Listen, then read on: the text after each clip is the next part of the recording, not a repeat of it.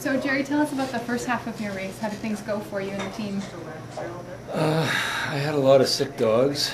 Uh, it took me a while to get over that, and then I had a lot of uh, uh, wrist and shoulder injuries. I've been working steadily on that, trying to get it worked out of them. Uh,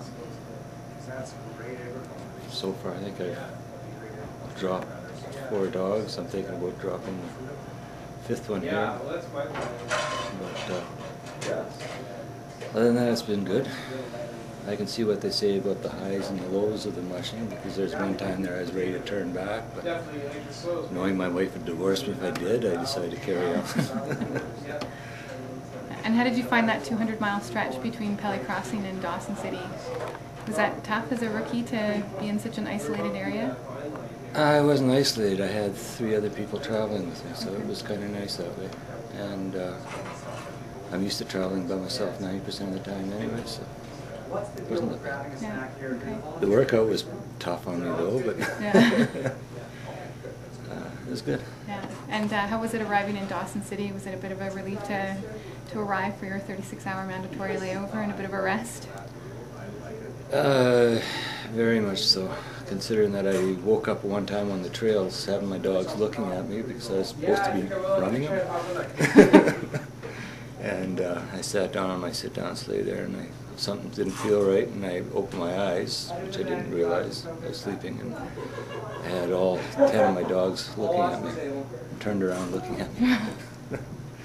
so, wondering what was going on, but uh, it was good to get here and get sleep. Yeah. Yeah.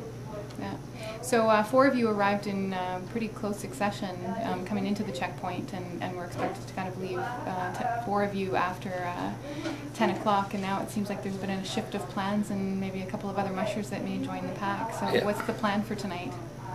Uh, the plan is we're just going to travel together and take turns breaking trail. Because I don't think we'll have much of a trail left. Because if we travel singly, we're gonna not gonna make it. Because that, just by looking out there, it's going to be miserable as it is, even with a group of people. So, and then we can encourage each other on and try to keep going that way. Yeah. So you guys have all talked today and kind of put a plan in place, and Uh, we've not really sat and put a plan in place. We'll probably do that just before we leave. But Yeah. we've talked and said, okay, we're going to travel together and, and do this. We never really said uh, we're going to do this or do that or do that type thing. yeah. So for you, you're able to leave as early as 10:16, but you'll delay your departure a little bit to, to stick a little closer to the group, or head out there on your own and maybe slow down a little bit to Well, let them I- get caught up. Uh, the other ones are a little bit faster than I am anyway, so I'll probably leave fairly quick around that 10:16 or around that area. Uh, is not that far behind me, so I'll break trail as much as I can, and then probably DJ will catch up and I'll let him go by and, and uh, break trail because the guys behind us will be a little bit faster because they're not breaking trail. Yeah. And that way we don't have too much of a delay in time. Yeah.